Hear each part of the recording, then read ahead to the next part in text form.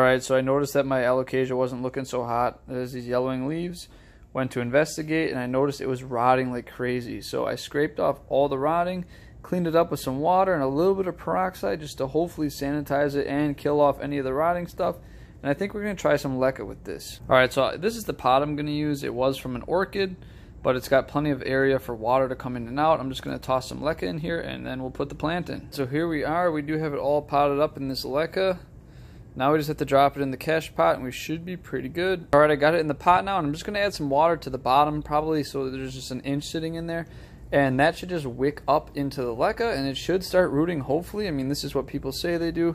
I've never tried this but we'll find out if it works. So here are some roots. I believe it's been two weeks since the first footage i've shown you but there's root here already extending out here and there are some more in the base but i don't want to dig around too much. But it's not looking the best but it's going to come back to life for sure we've got a new leaf here so things are looking pretty good